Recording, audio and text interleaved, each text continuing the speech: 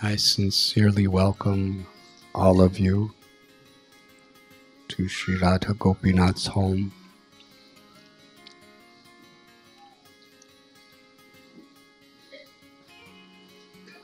Tonight is New Year's Eve.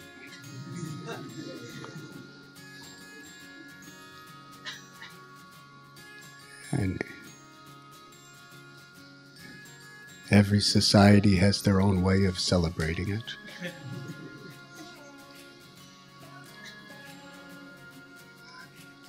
But as Kali Yuga progresses, it seems like all the different ways are becoming one.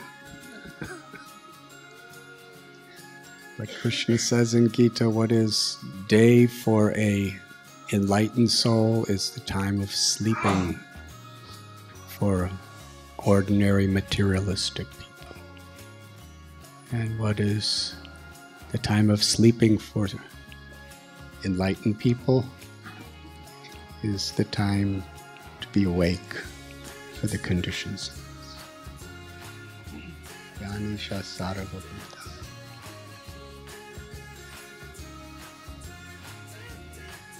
So at midnight, some of you will be awake and some of you will be asleep.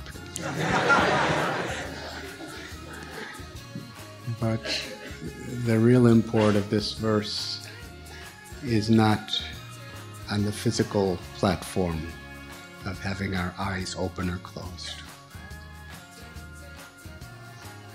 It is what we are attentive to, what we are valuing.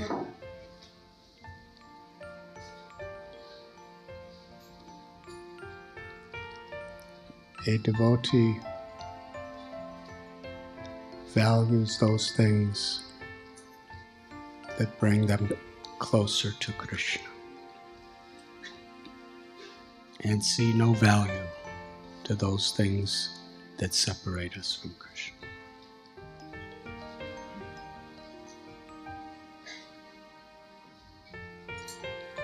As far as material wealth, that has the potential of bringing us closer or farther, depending on how we choose to use it.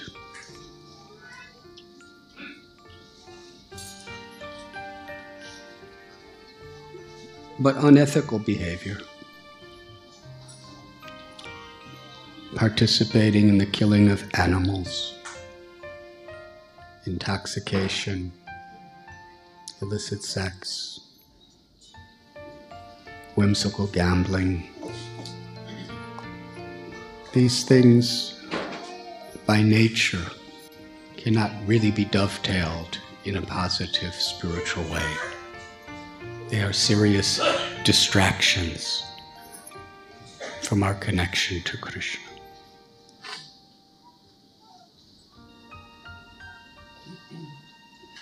So, our great acharyas, they have given us what we should be very much careful to avoid and what is very necessary to develop that deepest connection of devotion to Krishna. There are 64 items of devotional service.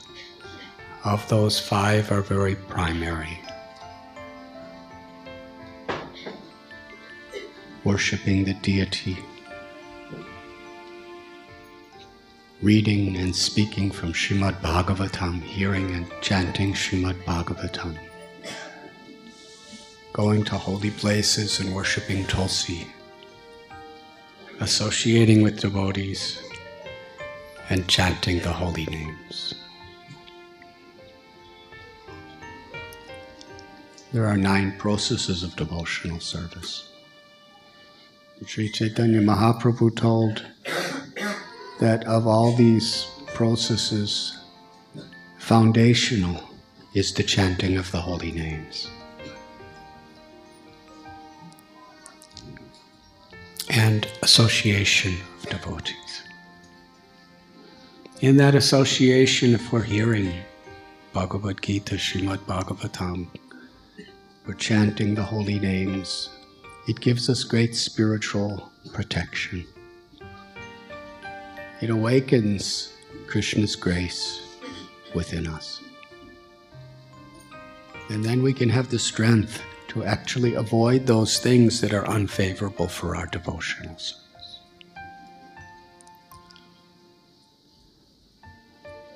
But in the world today, unless we have extremely saintly parents who have really protected us and nourished us. Most of us have many bad habits. Don't raise your hands. but uh, I ask you if, if you are included. We have so many bad habits. Some are gross bad habits, like just very selfish physical material activities or sinful activities. We mentioned a few.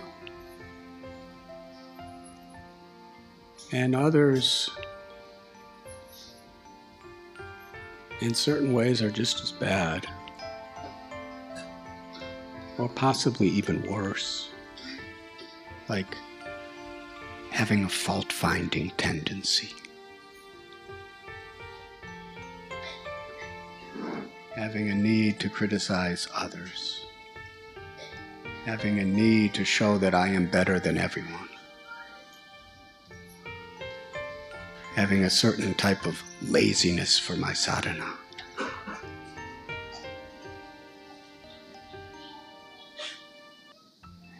Having a burning, a, burning habit for various types of very distracting entertainment. These are distractions. And a new year, it could be a great impetus for devotional service. Because, like everything in this world, it's potentially material or spiritual, depending on how we perceive it. For some, New Year's is the time to completely become intoxicated and enjoy the celebration that it's a new year. It's quite meaningless.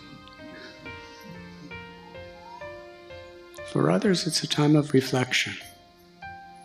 Some business people they really they, they analyze their accounts and their strengths and the weaknesses of their business and their strengths and the weaknesses of their their profits and losses and they learn their lessons and with with a new revived understanding they proceed their business into the new year with deeper wisdom because they've analyzed the past they've learned from the past and now they're passing across the threshold of the new year with more wisdom and more practical experience.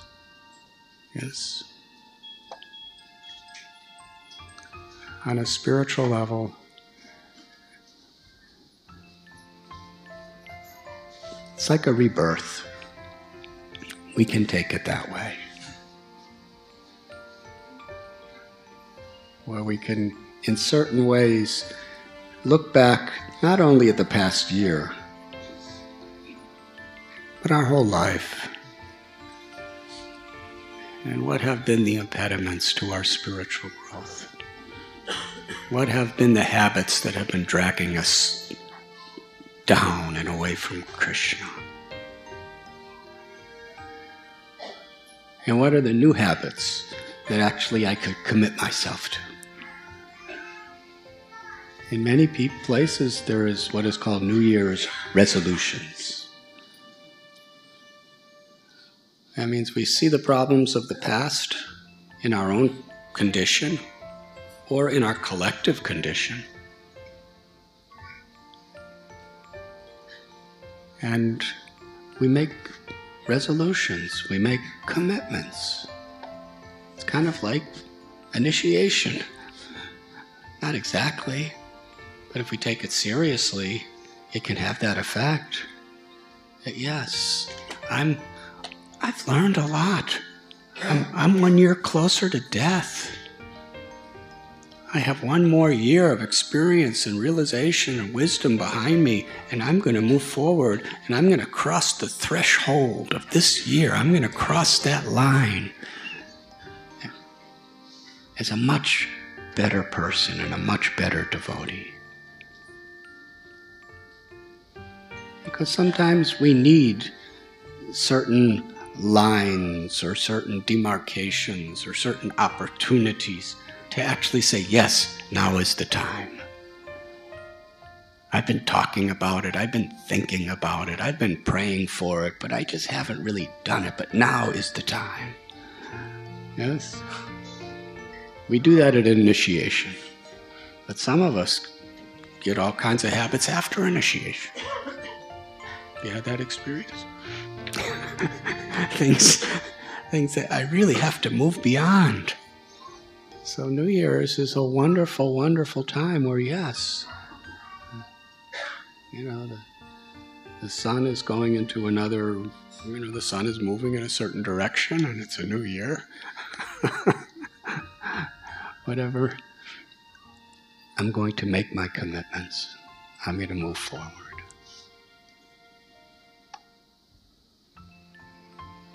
And if we if we celebrate New Year in this way with Krishna in the center, then actually it becomes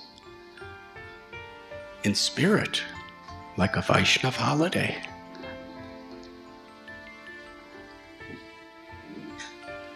It becomes holiday means holy day. and by by committing ourselves to Krishna, to devotion to Krishna. Things that I've just been lazy about, lazy about accepting, or lazy about rejecting. Yes, I'm going to do it. Yes, I'm really going to give it a try.